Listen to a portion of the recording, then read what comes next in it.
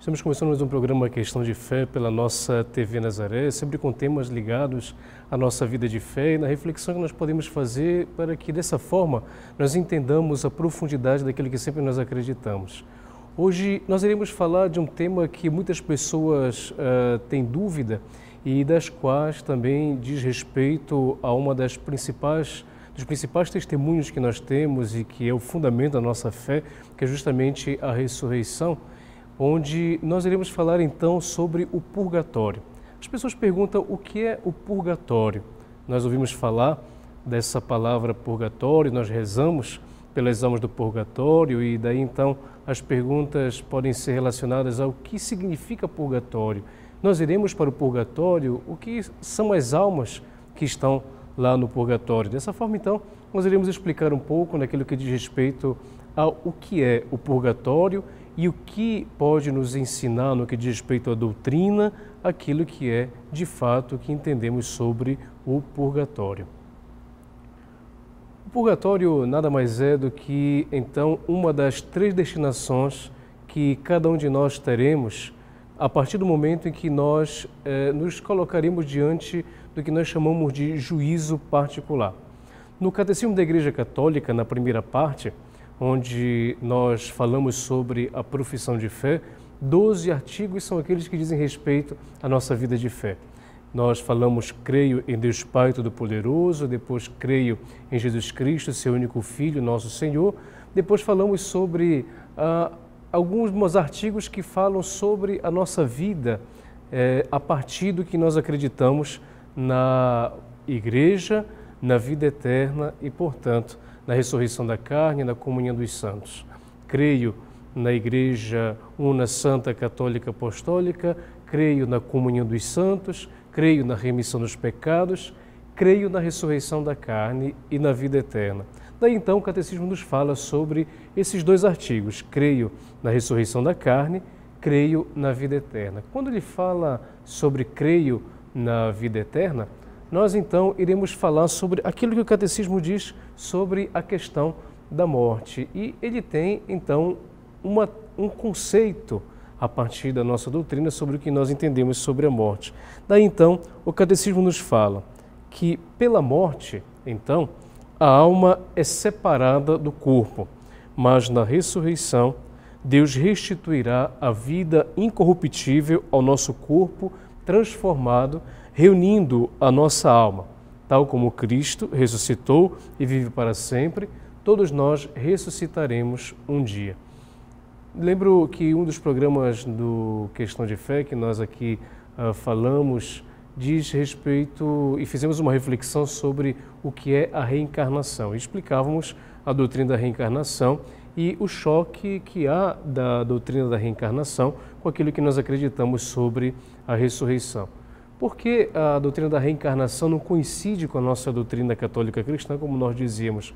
Pelo próprio fato de que a doutrina da reencarnação fala de uma vinda uh, posterior da alma uh, em relação ao corpo e que vem diversas vezes na vida até encontrar uma purificação definitiva, pagando por aquilo que ela precisa para poder se purificar. Neste caso, esta doutrina da reencarnação não coincide com a nossa doutrina católica pelo próprio fato de que nós acreditamos na ressurreição da carne. Por que nós acreditamos na ressurreição da carne? Justamente pelo fato de que, ao olharmos os evangelhos e aquilo que aconteceu com o próprio Jesus Cristo, nós vamos percebendo então que Cristo ressuscitou no seu corpo e, portanto, venceu a morte. Se nós formos olhar todos os textos que dizem respeito à ressurreição, então, Jesus Cristo realmente morreu na cruz, ele foi entregue à sepultura, ou seja, ele foi sepultado e dessa forma, então, ele é, passou três dias no túmulo. A partir daí nós temos o que? Uma a teoria a partir dos próprios evangelhos e a descrição de que Jesus no primeiro dia da semana, então, ele ressuscitou. Apareceu a Maria Madalena, apareceu posteriormente aos apóstolos e o que é interessante é que ele apareceu com os sinais da paixão, ou seja, com os sinais dos sofrimentos, com as chagas. Tanto que ele diz a Tomé, Tomé não estava na, na, na primeira vez que Jesus aparece aos discípulos. Na segunda vez, Tomé já estando presente, Jesus se volta para Tomé e diz: A paz esteja convosco, Tomé, toca as minhas mãos e o meu lado, sou eu mesmo, não sejas incrédulo, mas fiel. Então Tomé, tocando as feridas de Jesus, diz: Meu Senhor e meu Deus. A partir daí, então, nós vamos vendo o quê? Que nesse ponto de vista, então, a ressurreição de Jesus acontece a partir mesmo da própria, uh, do seu próprio corpo. Não há um corpo uh, diferente, ou seja, há um corpo que é o mesmo corpo, porém este corpo que pertence então a essa esfera terrena, porém de uma forma transformada. Por que de uma forma transformada? Pelo próprio fato das descrições dos evangelhos em que uh, as pessoas que olham para Jesus depois da ressurreição não o reconhecem antes de que ele possa dar um sinal de que seja ele mesmo. Por exemplo, aconteceu com Maria Madalena. Maria Madalena, então, ao encontrar Jesus no túmulo, ela confunde pensando que é o jardineiro e a partir daí, então, ela uh, até mesmo diz que se foi ele que levou o corpo do Senhor, para que lhe dissesse aonde o corpo estava, que ela iria buscá-lo. Depois que Jesus fala o nome de Maria Madalena, então ela reconhece dizendo Rabuni, que quer dizer, portanto, mestre. E dessa forma, então, ela ah, vai anunciar aos, aos apóstolos que ele ressuscitou. A partir daí também nós temos vários testemunhos, por exemplo, da, dos discípulos de Emaús que caminhando veem Jesus, porém não reconhecem. Jesus conversa com eles e lhes explica as Escrituras, começando desde os profetas, todas as leituras que dizem respeito sobre ele. E a partir do momento em que eles chegam no lugar, no albergue, a partir dali, ao partir o pão, então eles reconhecem Jesus e Jesus desaparece uh, do meio deles. Outra uh, descrição da aparição de Jesus já ressuscitado é quando os apóstolos estão no lago de Tiberíades. E a partir dali, então, pensando ser um fantasma, eles uh, amedrontam-se, porém, Jesus depois se revela a eles como o próprio Jesus. Essas descrições dos evangelhos, então, nos falam de quê? Nos falam de que Jesus ressuscita com este mesmo corpo, porém um corpo glorioso, do qual, então, é um corpo uh, diferente. Dessa forma, então, nós vamos entendendo a partir da própria tradição da igreja, a partir das descrições que nós temos no Novo Testamento e a Igreja elaborou, portanto, aquilo que é a doutrina no que diz respeito ao que nós podemos acreditar na ressurreição. Nós, portanto, iremos ressuscitar como Jesus Cristo nos fala São Paulo, sobretudo na primeira e segunda carta aos Coríntios, nós iremos ressuscitar com este mesmo corpo. Jesus não voltou numa outra vida, Jesus não voltou num outro século, Jesus não voltou numa outra cultura, numa outra história. Jesus está nos céus e se faz presente no meio de nós por meio da Eucaristia. Então Jesus está no céu e ele eh, ressuscitou de uma vez por todas. Se a mesma coisa, portanto, acontecerá conosco, nós então iremos e estamos entendendo que a ressurreição acontecerá conosco a partir do momento da nossa morte. O que é a morte? diz o Catecismo da Igreja Católica. A morte, portanto, é essa separação da alma e do corpo. Porém, acontecerá aquilo que nós chamamos de um juízo particular. Ou seja, toda a alma, portanto, o corpo é entregue à sepultura para que dessa forma, então, ele possa esperar justamente a ressurreição do último dia esta alma vai para aquilo que nós chamamos então de um primeiro juízo, que é o juízo particular. Neste juízo particular será repassado toda a nossa vida. E a partir desta, da, daquilo que nós vivemos em nossa vida, nós então iremos uh, receber a destinação que nos cabe no que diz respeito ao tipo de vida que aqui nesta terra nós vivemos. E a partir daí, então, quais são as três destinações que nós acreditamos existir? justamente depois desse juízo particular em que nós nos colocaremos diante de Deus, então nós iremos ser destinados ao céu, nós iremos ser destinados ao inferno ou iremos ser destinados ao purgatório. Dessa forma, o que, que fundamenta para nós a existência dessas três uh, realidades? O próprio fato de que nós acreditamos na vida eterna. Ou seja, a vida ela não termina com esta vida. A, a vida não termina com esta a, a, com a história que nós vivemos. Ou seja, a vida ela continua nesta separação que haverá da alma com o corpo, mas a nossa vida continuará naquilo que nós chamamos então de vida eterna. Nesta vida eterna, então, acontecerá justamente esse juízo particular e a partir daí, então, nós iremos uh, receber esta destinação: céu, inferno ou purgatório. E a partir daí, então, o que o catecismo nos fala? Nos fala no artigo 12, creio, na vida eterna, sobre a própria vida eterna, dizendo: o cristão que une a sua própria morte à de Jesus, encara a morte como chegada junto dele, como entrada na vida eterna. Então, isso já nos diz que haverá uma vida após a morte. Não é que a vida termina aqui nesta terra, não é que termina quando o nosso corpo será entregue ao túmulo. A vida continua a partir da alma que, portanto, vai para junto de Deus.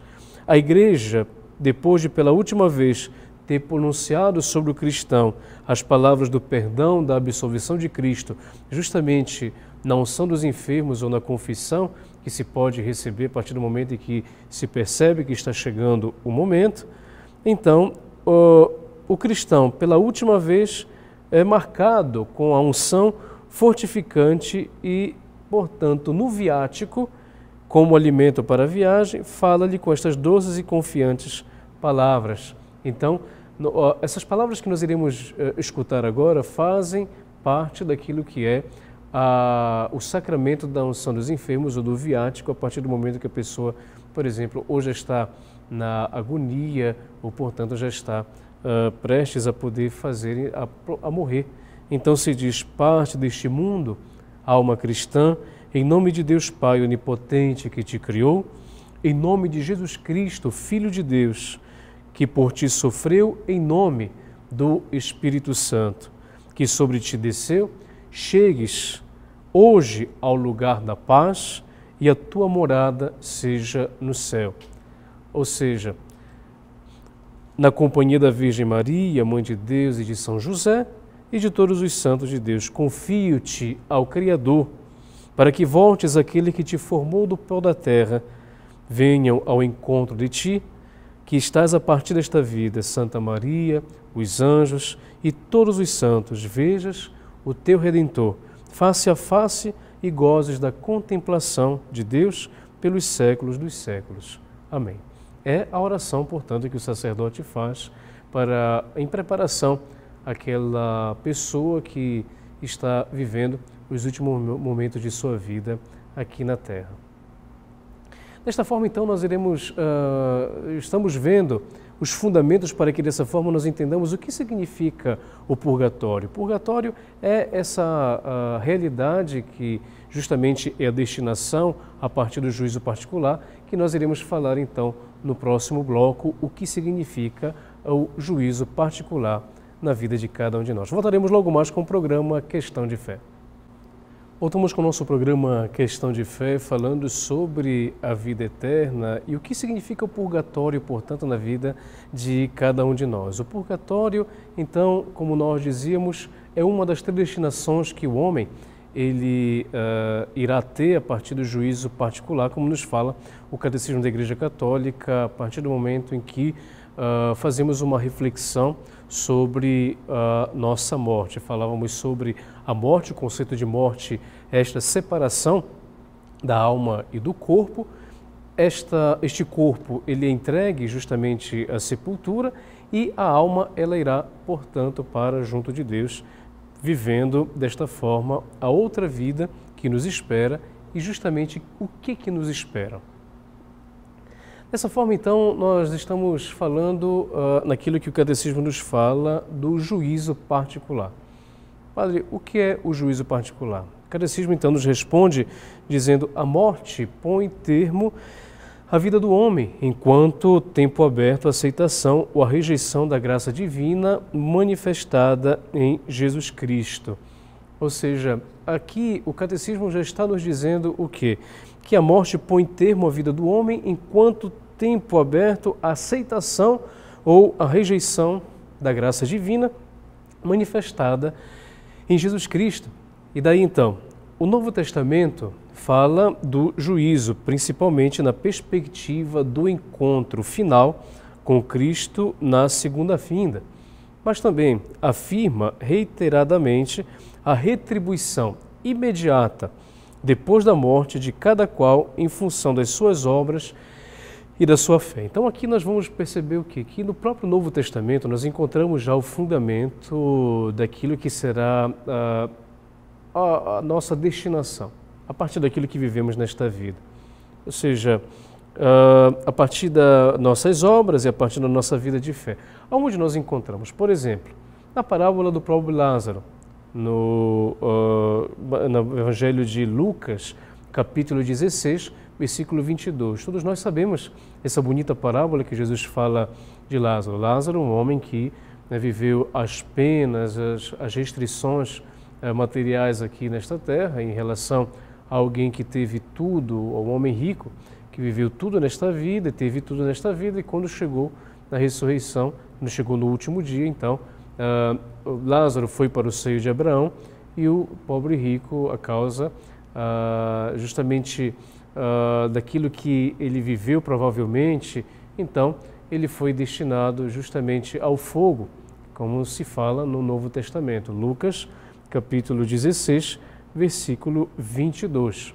Também nós temos um outro testemunho da, do Novo Testamento, que é justamente a parábola, desculpem, é o evento da cruz, onde Jesus então está entre dois ladrões. Um é chamado pela tradição o bom ladrão, que, portanto, se voltando para Jesus, ele repreende o outro ladrão que desdenhava Jesus, dizendo: Senhor, lembra-te de mim quando estiveres no teu reino. E Jesus diz a ele: Hoje mesmo estarás comigo no paraíso. Então, nós podemos encontrar no Evangelho de Lucas, 20, capítulo 23, versículo 43. Ou seja, essas ah, manifestações que diz respeito à Sagrada Escritura, o Novo Testamento, são o fundamento para nós de que há algo após a nossa morte. Há um, portanto, juízo. Daí então, o Catecismo nos fala: ao morrer, cada homem recebe na sua alma imortal a retribuição eterna, num juízo particular que põe a sua vida em referência a Cristo, quer através de uma purificação, quer para entrar imediatamente na felicidade do céu, quer para se condenar imediatamente para sempre. A partir daí, então, nós vamos vendo que essas três destinações nos são dadas a partir desse juízo particular. Nesse juízo particular, nossa vida será repassada e a partir daí, então, o que, que acontece? Ao morrer, cada homem recebe na sua alma imortal a retribuição divina. E o que, portanto, é destinado àqueles que viveram completamente na graça de Deus. Aquilo que nós chamamos, então, o céu. O céu, diz o Catecismo da Igreja Católica, os que morreram na graça e na amizade de Deus e estiverem perfeitamente purificados, viverão para sempre com Cristo. Serão para sempre semelhantes a Deus, porque o verão tal como ele é, face a face. Ou seja, o céu então é destinado a todos aqueles que aqui nesta vida uh, viveram de uma forma realmente purificada, procuraram viver a sua fé de uma maneira tal que procurando os sacramentos, procurando viver uma vida uh, na graça de Deus, procurando viver os mandamentos, então, ao morrerem, se morrerem em estado de graça, então irão para o céu. Esta vida perfeita, portanto, com a Santíssima Trindade, está na comunhão de vida e de amor com ela, com a Virgem Maria, com os anjos e todos os bem-aventurados, e isso então chama-se, diz o Catecismo da Igreja Católica, se chama céu. Ou seja, é quando nós de fato moraremos junto de Deus, da Virgem Maria e dos santos. O céu é o fim último e a realização das aspirações mais profundas do homem, o estado de felicidade suprema e definitiva. Pela sua morte e ressurreição, diz o Catecismo da Igreja Católica, Jesus Cristo abriu-nos o céu. A vida dos bem-aventurados consiste na posse em plenitude dos frutos da redenção operada por Cristo, que associa a sua glorificação celeste àqueles que nele acreditaram e permaneceram fiéis à sua vontade. Daí nós percebemos então que o céu é este lugar para onde é destinada as almas que viveram aqui nesta terra, viveram em estado de graça, procurando viver sempre esse estado de graça. De que forma? Procurando os sacramentos. É claro, aí se poderia perguntar, mas padre, como é que nós poderíamos então sempre viver em estado de graça se nós pecamos? Daí então está justamente o conceito de pecado. É claro que todos nós somos pecadores. Todos nós precisamos de purificação e uma purificação que já começa aqui nesta terra. Esta purificação aqui nesta terra se dá pelo arrependimento dos nossos pecados, na consciência de que eu me voltei contra Deus pelos meus comportamentos e procuro o seu perdão no sacramento da reconciliação. Ou seja, eu vivo esta vida eu tenho consciência do pecado, muitas vezes eu posso até pecar, porém o arrependimento e a consciência me fazem procurar viver um estado de purificação a tal ponto de que a graça de Deus, então, ela é restituída à minha vida e ao meu coração a partir justamente do sacramento da penitência, sacramento da reconciliação. Aqueles que morrem nesse estado de graça, ou seja, aqueles que morrem a partir do momento em que conseguem se preparar, conseguem se purificar, então são destinados àquilo que nós chamamos de céu, nos diz o Catecismo da Igreja Católica. Agora, nós também temos uma segunda destinação, que justamente é aquilo que nós chamamos de purificação final ou purgatório. Ou seja, o que é a purificação final ou o purgatório? Os que morrem na amizade e na graça de Deus, mas não de tudo purificado, embora seguros da salvação eterna, sofrem depois da morte uma purificação a fim de obterem a santidade necessária para entrar na alegria do céu. Ou seja, aqui prestemos bem atenção. Purgatório Significa, então, um estado no qual a alma, mesmo morrendo na graça divina, ou seja, mesmo uh, morrendo uh, na amizade com Deus, mas não estão totalmente purificados, elas então eh, precisam ser, eh, de uma purificação, nos diz o catecismo, portanto, da igreja. A igreja chama purgatório a esta purificação final dos eleitos que é absolutamente distinta do castigo dos condenados. Como? Então, padre, de repente eu uh, vivo a minha vida, vivo esse estado de graça, mas de repente então eu morro e vou para o purgatório. Por que fui para o purgatório? Justamente pelo próprio fato de que muitas vezes em algum determinado uh, em alguma determinada situação de nossa vida que somente Deus pode conhecer em nós mesmos, precisamos purificar aquilo que de fato não ficou, quem sabe, resolvido na nossa vida aqui nesta terra. Vivemos na amizade com Deus, porém pode ter acontecido que não tivemos tido tempo de poder então, quem sabe, nos preparar ou alguma coisa uh, que nós levamos no nosso coração e que provavelmente uh, nós não resolvemos, nós não uh, nos reconciliamos.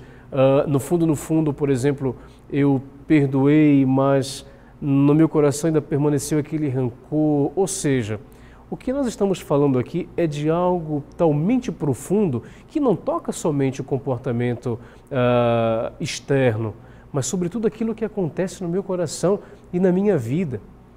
E isso que eu não consegui resolver nesta vida, ou que, portanto, mesmo com os sacramentos, mesmo com a palavra de Deus, com a própria vida de Deus, eu não consegui me purificar aqui nesta terra, então acontece que no nosso juízo particular nós seremos uh, destinados a esta purificação que acontece depois da morte, para que dessa forma então nós alcancemos o céu.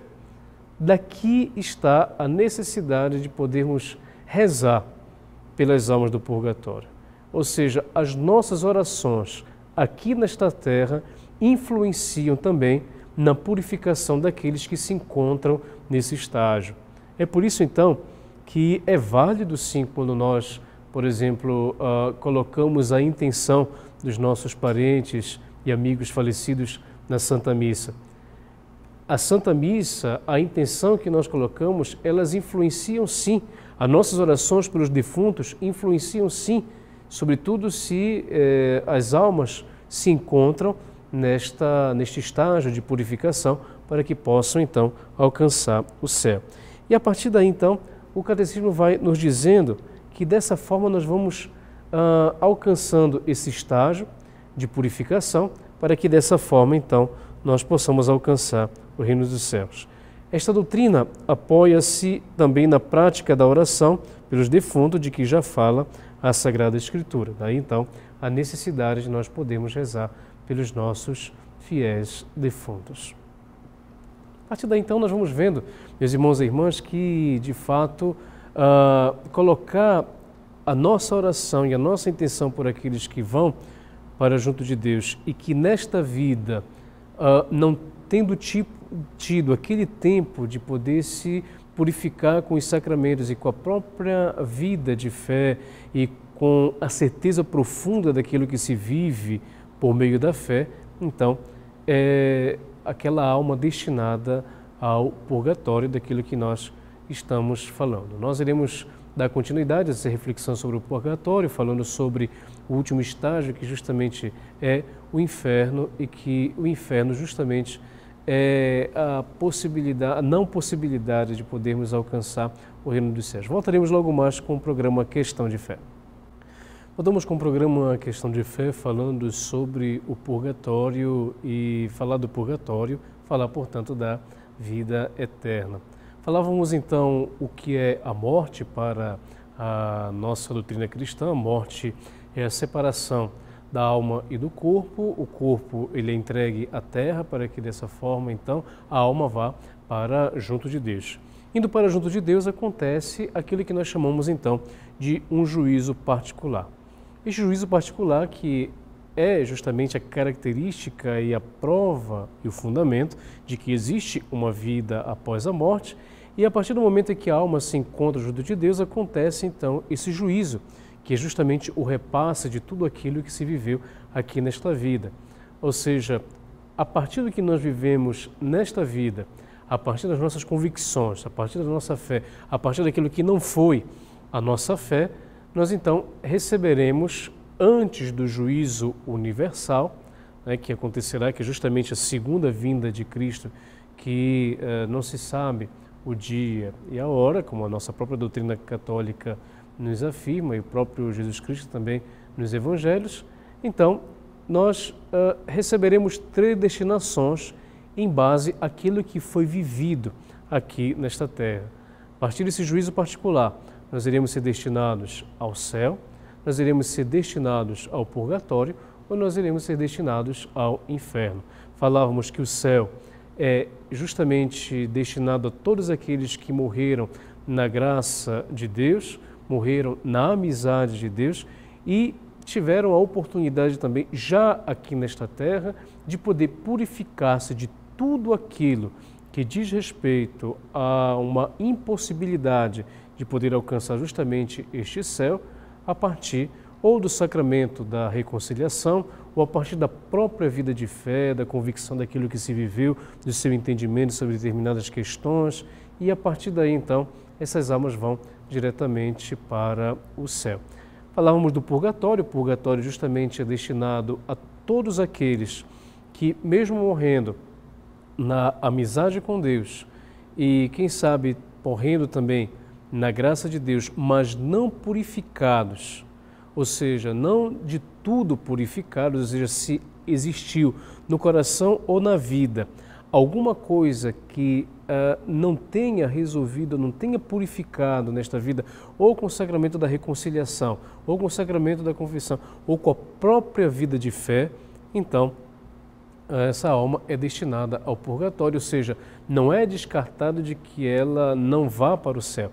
Ela apenas passa por esse eh, momento de purificação, para que dessa forma, depois deste momento de purificação, ela possa ir para o céu. Mas também nós iremos uh, falar também de uma outra destinação justamente uh, conhecida por todos nós e muitas vezes também até causa de tantas uh, imaginações e fantasias que justamente é o que nós chamamos de inferno. O que é o inferno? E nós tomamos então as palavras do próprio catecismo da Igreja Católica, dizendo: não podemos estar em união com Deus se não conhecemos, se não escolhermos livremente amá-lo. Ou seja, aqui é o ponto-chave para nós podermos entender o conceito de inferno. Nós achamos que inferno ah, é, é, o lugar de tantas uh, fantasias, ah, é aquele lugar que foi descrito até muitas vezes nas pinturas medievais, etc. Mas aqui nós estamos falando de um estado ou seja, de um estágio que a alma vive, onde é chamada, portanto, de inferno. Não podemos estar em união com Deus se não escolhemos livremente amá-lo. Mas não podemos amar a Deus se pecarmos gravemente contra Ele, contra o nosso próximo ou contra nós mesmos.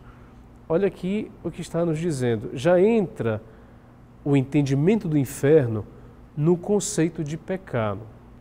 Pecado grave aqui nessa terra nós cometemos quando nós somos conscientes daquilo que nós fazemos, quando este, aquilo que nós fazemos, esta atitude que nós fazemos atenta conscientemente contra Deus, contra o próximo e contra nós mesmos. Se torna, portanto, um pecado grave.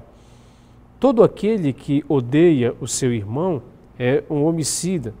Ora, vós sabeis que nenhum homicida tem em si a vida eterna, diz a primeira carta de João, capítulo 3, versículos 14 e 15.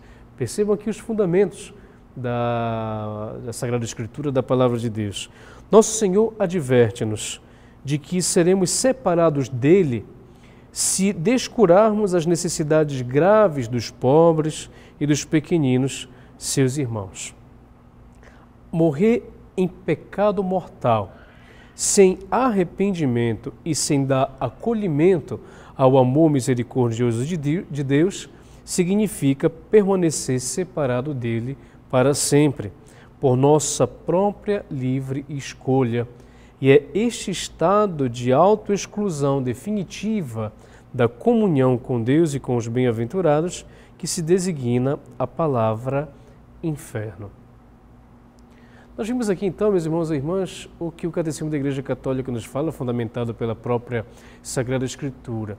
Inferno, portanto, significa aquela pessoa, aquele ou aquela que se separou do amor de Deus, permaneceu separado dele conscientemente, sem arrependimento né, e por livre escolha. Ou seja, Deus na nossa vida, ele vai sempre nos dando possibilidades, mesmo diante de algumas situações que nós podemos viver, ele vai dando sempre para nós possibilidades de poder retornar à comunhão com ele. Aqui nesta vida, por exemplo, nós podemos pecar, nós podemos nos reconciliar com ele e tudo isso de uma maneira livre. Nós somos livres para poder nos voltar a ele.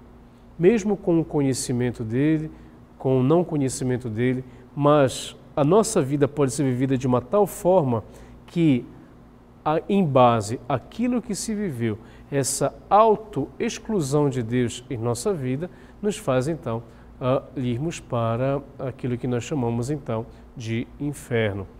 Jesus fala muitas vezes do fogo que não se apaga, diz o Catecismo da Igreja Católica, reservada, portanto, aos que recusam até o fim da vida acreditar-se e a converter-se, e no qual podem perder-se ao mesmo tempo a alma e o corpo. Aqui nós vimos então que o próprio Jesus Cristo nos fala no que diz respeito ao inferno. O inferno, essa auto-exclusão que fazemos de nós mesmos, no que diz respeito à comunhão com Deus de uma maneira livre e eh, renegando a misericórdia de Deus na vida de cada um de nós. O Catecismo da Igreja Católica continua então nos falando que a doutrina da Igreja afirma a existência do inferno e a sua eternidade. As almas dos que morrem em estado de pecado mortal descem imediatamente após a morte aos infernos, onde sofrem as penas do inferno, o fogo eterno. A principal pena do inferno consiste na separação eterna de Deus, o único em quem o homem pode ter a vida e a felicidade que foi criado e a que aspira. Aqui você percebe, meus irmãos e irmãs, então, que o inferno é justamente essa não possibilidade por livre decisão, por livre escolha da nossa parte de não querermos a vida que Deus nos dá. Isso é resultado do que nós chamamos do pecado mortal que eh, nós vivemos nesta vida. Ou seja, pecado mortal significa toda atitude e comportamento que temos e que atenta contra uh, Deus, contra o próximo e contra nós mesmos, com as suas consequências, de uma maneira consciente, livre e, portanto, sem arrependimento. Eu faço, por exemplo, mal ao outro, sou consciente do mal que faço a ele, sou consciente do mal que posso fazer a mim mesmo sou consciente do que posso fazer a Deus e desta forma, então, não tenho arrependimento nenhum. Isto é pecado mortal, que se pode já viver aqui nesta terra.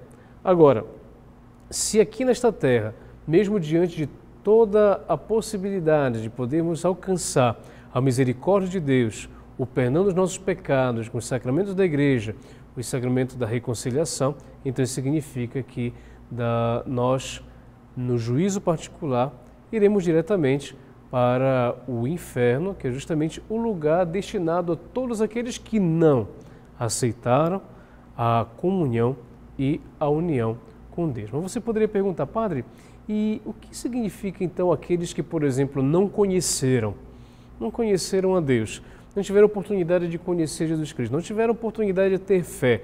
Então, aquele que não tem fé vai para o inferno? Daí a resposta é justamente essa, em base à própria misericórdia de Deus. O próprio Papa Bento XVI, na sua carta que abria o ano da fé Porta Fidei, dizia que muitas vezes existem pessoas que não têm fé, mas o primeiro passo para que elas possam alcançar a fé, antes de tudo, o testemunho daqueles que têm fé. Depois, a própria vida da pessoa. Se a pessoa tem uma vida na qual ela tem consciência do que é a dignidade humana, do que é o mal, e esse mal é evitado em toda e qualquer circunstância, tem uma vida reta, tem uma vida que possa, eh, de fato, eh, estar eh, de acordo com aquelas que são as próprias convicções da pessoa no que diz respeito ao mal feito ao outro, mesmo não conhecendo a Deus, mas as características da pessoa fazem com que ela também possa alcançar a misericórdia de Deus sem conhecê-lo. Essa é a, a, a, beleza da misericórdia de Deus na vida de cada um de nós. Daqui então, a resposta é justamente essa: sim, aquela pessoa que de repente não tem fé, mas vivendo uma vida em base né, ao conceito e ao conhecimento da dignidade humana, tendo consciência do que é o mal e o mal sendo evitado em toda e qualquer circunstância da sua vida, é claro que no seu juízo particular, somente Deus e ela saberão aquilo que diz respeito ao modo como Deus irá julgá-la e a que destinação ela irá ter. Aqui, meus irmãos e irmãs, é algo que é intrínseco da pessoa em relação a Deus. Tá? Somente Deus pode conhecer profundamente o coração de cada um de nós. O que nós estamos falando aqui no que diz respeito à doutrina da igreja, diz respeito justamente a aquilo que é, é visto de uma maneira geral, aquilo que nós entendemos sobre a possibilidade de uma destinação a três estados de, de, de de purificação ou de visão direta de Deus no céu ou de uh, realmente uma autoexclusão livre e espontânea no que diz respeito a Deus e que se destina ao inferno. Essa destinação não cabe a nós. Podemos fazê-la de uma maneira uh, de uma maneira exaustiva pelo próprio fato de que aquilo que é o julgamento de cada um de nós cabe somente a Deus. Aqui então, meus irmãos e irmãs, nós vimos neste programa, no nosso programa Questão de Fé, falando sobre o purgatório, fazendo um contexto daquilo que significa a morte para a nossa doutrina cristã, a separação da alma e do corpo, e significa que após a morte há uma vida, a vida não termina aqui nesta terra, a partir do momento em que nós morremos, temos aquilo que nós chamamos de um julgamento particular. Nesse julgamento particular, que será repassada, onde será repassada toda a nossa vida, nós seremos destinados a três estados, em base àquilo que nós vivemos aqui nesta terra, é a nossa vida de fé. Ou seja, nós iremos ser destinados ao céu, nós iremos ser destinados ao purgatório, ou iremos ser destinados ao inferno. Céu é justamente destinado a todos aqueles que morreram na graça e na amizade de Deus e aqui nesta terra tiveram a possibilidade de poder purificar-se de tudo aquilo que poderia uh, uh, poderia uh, não dá-los a possibilidade de ir para o céu.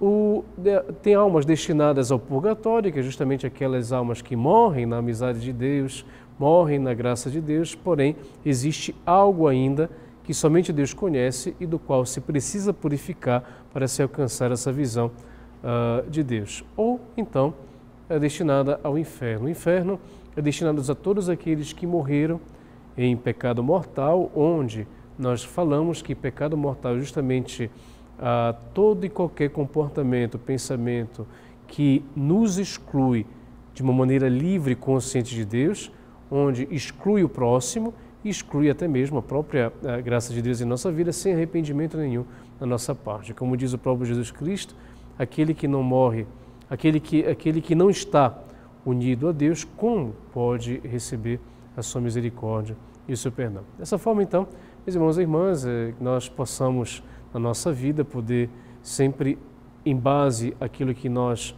vivemos, podemos sempre, sempre alcançar o céu, que é justamente o lugar onde nós podemos, então, ver a face gloriosa de Deus. O Senhor esteja convosco, Ele está no meio de nós. Abençoe-vos o Deus Todo-Poderoso, Pai, Filho, Espírito Santo. Amém.